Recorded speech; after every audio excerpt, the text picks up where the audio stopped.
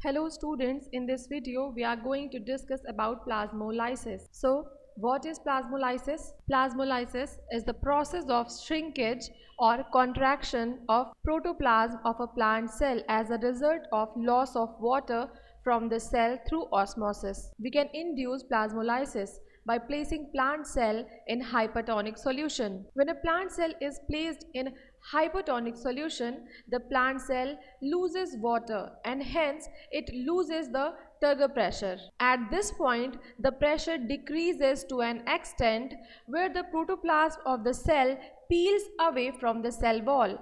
This leaves a gap between the cell wall and the cell membrane and the cell membrane of the plant cell shrinks away from its cell wall.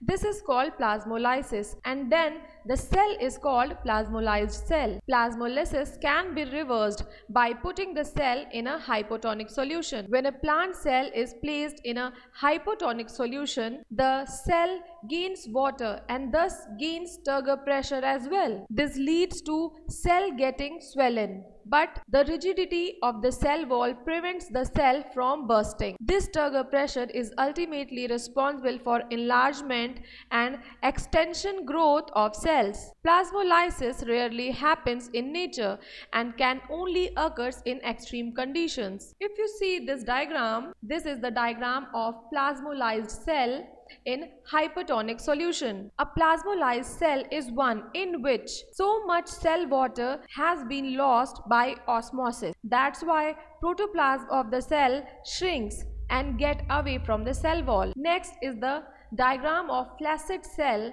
in an isotonic solution. A flaccid cell is one in which the plasma membrane does not press tightly against the cell wall as the concentration is similar outside and inside the cell water diffuses in both the directions. Next is the diagram of turgid cell in hypotonic solution. A turgid cell is one in which cell membrane presses tightly against the cell wall because water move inside the cell through osmosis because osmotic concentration is higher inside the cell. So water moves inside the cell and makes the cell turgid. This is all about plasmolysis. Thank you.